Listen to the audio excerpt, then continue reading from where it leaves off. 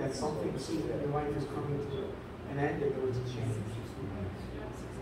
Anybody else? I mean, couple other deep this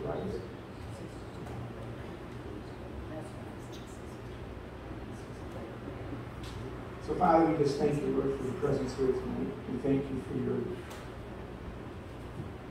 for being with us and going with us everywhere we are. You are there with us. Because you never leave us, you never forsake us.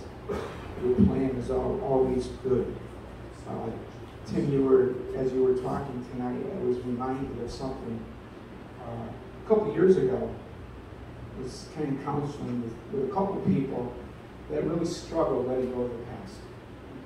And the Holy Spirit says, tell them that healing is on the path, not the past. Because every time we turn around, look at there we go. We're leaving the moment. We're heading in the wrong direction. Now, I'm not saying that sometimes we don't have to visit that to get healing. We do. But when we when we when that's where we live, how you never going to move forward?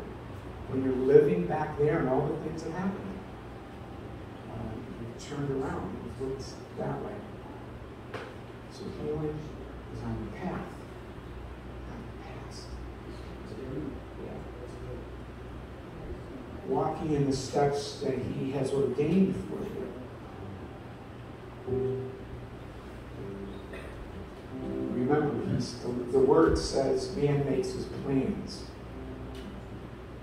but God ordains the way. Hmm. And He causes all the things around us to work together for good.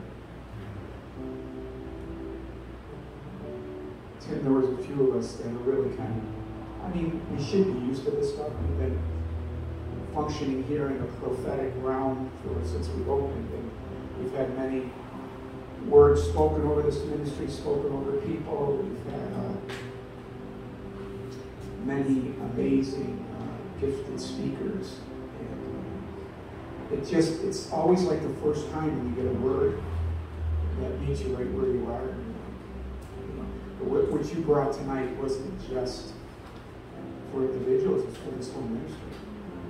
There's some some people that were struggling with um, they wanted to get mad at the guy that pulled our mortgage. No. Sometimes it's messy.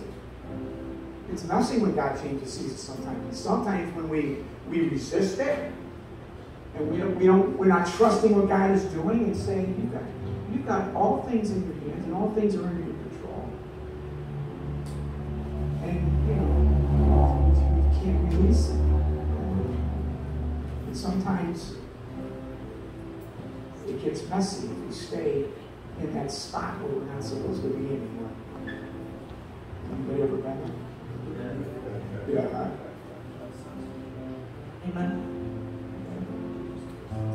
Thank you, Lord. Thank you, MuddyBoots. So Tuesday is going to be the last time we meet in this building as Joseph's house. So I encourage you to come out and um,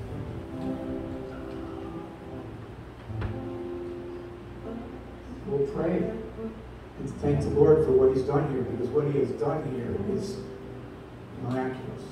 Uh, thousands of people met here. The kingdom grew. Bridges were made. Relationships were made. Kingdom relationships. People were healed. People were came out of darkness into the light. I mean, it just goes on and on and on. Um, a lot, a lot, a lot, a lot of things about it. Things that I know we won't even realize until after the fact, until after we've left this season and moved into the next. And we, you know, those are good things to look behind. You know, all that the Lord has done. You know, there's people here, we were talking about this, there's people here from probably five to ten different churches. And that's that's the community that's here. That's the community here. It's the family that we built here. So I'm really excited about uh, kind of jumpstart. Really good.